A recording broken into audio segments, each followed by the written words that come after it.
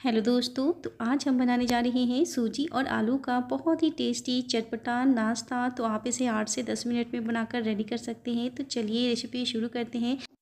तो मैंने यहाँ एक पैन रख दिया है। तो पैन में हम डालेंगे दो से तीन छोटा चम्मच सोयाबीन ऑयल तो आपके घर में जो यूज़ होता हो तेल, वही ले लीजिएगा। आधा छोटा चम्मच इसमें हम डाल देंगे जीरा। तो जीरा को चटक जाने देंगे।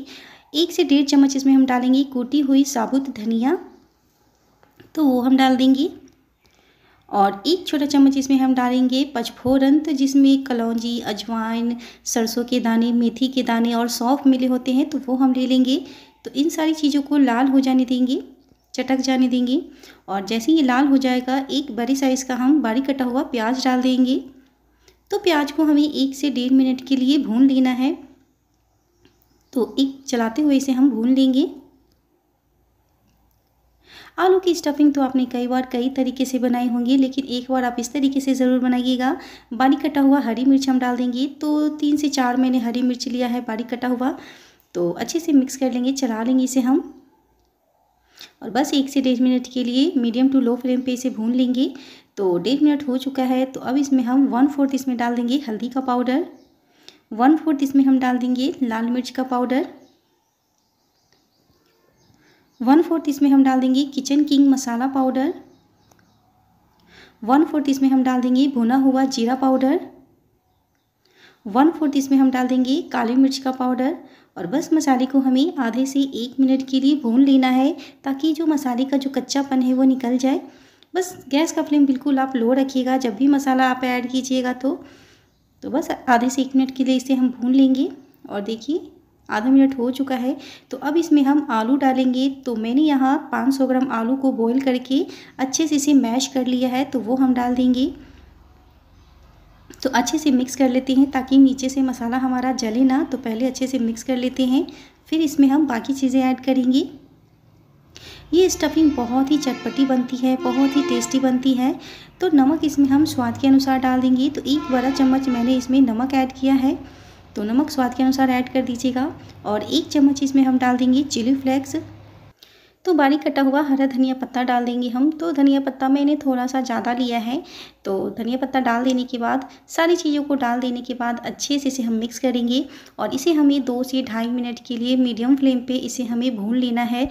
तो भूनते हुए इसे दो से ढाई मिनट हो चुका है। स्टफिंग हमारा तैयार हो गया है तो गैस का फ्लेम बंद कर देते हैं। तो अब चलते हैं अगले स्टेप की तरफ़। तो मैंने आए गैस पे फिर से पैन रख दिया है। इसमें हम डालेंगे दो से तीन छोटा चम्मच सोयाबीन ऑयल। तेल जैसे ही गर्म हो जाएगा, आधा छोटा चम्मच जीरा डाल देंगे। आधा छोटा चम्मच अजवाइन डाल देंगे। बारीक कटा हुआ हरी मिर्च हम डाल देंगे। सारी चीज़ों को मिक्स कर देंगे, चला लेंगे इसे हम। और जैसे ही ये थोड़ा लाल हो जाएगा, इसमें हम डालेंगे दो कप पानी। तो जिस कप से आप सूजी लेंगे, आप उसी कप से पानी ले लीजिएगा। तो दो कप हमने पानी डाल दिया है। एक छोटा चम्मच इसमें हम डाल देंगे चिली फ्लेक्स। एक छोटा चम्मच इसमें डाल देंगे नमक। तो स्वाद के अनुसार नमक डाल दीजिएगा और बारीक कटा हुआ हरा धनिया पत्ता हम डाल देंगे। मिक्स कर लेंगे सारी चीज़ों को।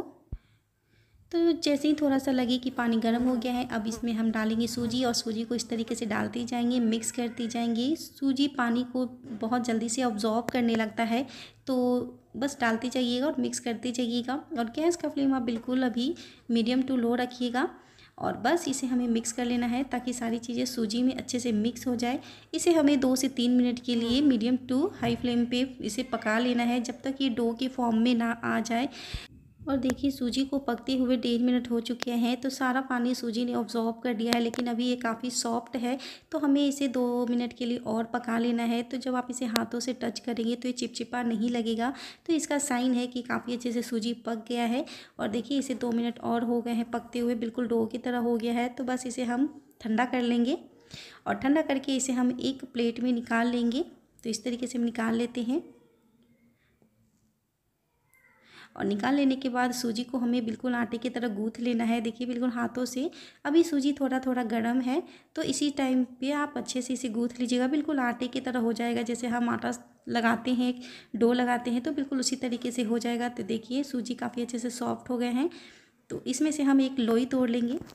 तो मैंने लोई थोड़े बड़े साइज़ का तोड़ा है और बस इस तरीके से गोल करके इसे हम बड़ा बेल लेंगे। तो जितना बड़ा आप हो सके आप उतना बड़ा बेल लीजिएगा।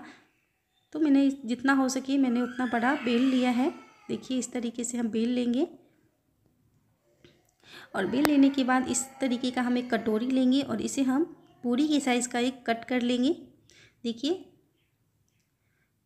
तो इतने बड़ी रोटी में दो ही पूरी हमने काट कर निकाला है। अगर आप ज़्यादा बड़ा बेलेंगे तो ज़्यादा मात्रा में पूरी निकलेगी। देखिए, इस तरीके से तो बाकी साइड वाले आटे को हम निकाल करके साइड में रख देते हैं, फिर दूसरा हम बेलेंगे तो फिर पूरी निकालेंगे। तो अब हम क्या करेंगे कि इसमें हम आधा आधा चम्मच हम टमाटो सॉस लगाएँगे इस तरीके से। तो दोनों पूड़ी में इस तरीके से हम टमाटो सॉस लगा लेंगे। और जो हमने स्टफिंग तैयार किया था तो बिल्कुल इस तरीके से स्टफिंग को हम साइड में रखेंगे और दूसरे साइड से इस तरीके से हम फोल्ड कर लेंगे। देखिए, इस तरीके से हम फोल्ड कर लेंगे। तो देखिए, इस तरीके से हमें नाश्ता बना लेना है तो दूसरा भी हम इसी तरीके से कर लेंगे। तो स्टफिंग को हम बिल्कुल साइड में रखेंगे, एक साइड में रखेंगे और दूसरी साइड से इस तरीके से हम फोल्ड करेंगे और फोल्ड करने के बाद इसे हम इस तरीके से हम कट कर लेंगे। तो थोड़ा सा मैंने इसे डिज़ाइन दिया है तो इस तरीके से हम कट कर लेंगे। दोनों साइड से हम कट लगा लेंगे। तो पूरा हमें कट नहीं लगाना है, बल, बिल्कुल हल्का सा हमें कट लगाना है। तो दोनों नाश्ता में हमने इस तरीके से कट लगा लिया है और इसी तरीके से मैंने सारा नाश्ता तैयार कर लिया है। तो चलिए अब हम गैस की तरफ़ चलते हैं इसे सेक लेने। तो मैंने यहाँ गैस पे पैन रख दिया है। इसमें हम डालेंगे दो से तीन छोटा चम्मच सोयाबीन ऑयल। मैं इसे शैलो फ्राई कर रही हूँ। इसे डीप अगर फ्राई करेंगे तो इसका जो स्टफिंग है वो बाहर आने लगेगा। तो हो सके तो आप इसे थोड़े से तेल में ही आप इसे इस तरीके से सेक लीजिएगा। और एक एक करके हम नाश्ता डाल देंगे और नीचे से जैसे ही लाल हो जाएगा, इसे हम पलट लेंगे। ये नाश्ता बहुत ही टेस्टी, चटपटा बनता है। तो एक बार आप इस तरीके से सूजी का नाश्ता ज़रूर बनाइएगा। ये काफ़ी टेस्टी भी लगता है और हेल्दी भी होता है। तो इस तरीके से ज़रूर नाश्ता बनाइएगा। और देखिए, दूसरे साइड से भी हम इसी तरीके से पलट कर उलट पलट करके इसे हम सेक लेंगे। इसे सेकने में ज़्यादा समय नहीं लगता है। ढाई से तीन मिनट में काफ़ी अच्छे से लाल हो जाता है, गोल्डन क्रिस्पी हो जाता है। ये नाश्ता बहुत ही टेस्टी, चटपटा और कुरकुरा बनता है। तो एक बार आप इस तरीके से सूजी का नाश्ता ज़रूर बनाइएगा। और ये देखिए, नाश्ता हमारा रेडी हो गया है। तो बस इसे हम निकाल लेते हैं। ये नाश्ता बहुत ही टेस्टी लगता है फ्रेंड्स तो एक बार आप इस तरीके से ज़रूर बनाइएगा। तो चलिए अब इसे हम सॉल्व भी कर लेते हैं। और ये लीजिए सूजी का और आलू का बना हुआ बहुत ही टेस्टी चटपटा कुरकुरा नाश्ता बनकर तैयार हो गया है। तो देखिए मैं आपको एक उठा कर दिखा रही हूँ कि ये नाश्ता हमारा कैसा बना है। देखिए फ्रेंड्स, ये नाश्ता बहुत ही टेस्टी लगता है खाने में। तो तोड़ कर भी दिखा देती हूँ इसकी स्टफिंग, देखिए।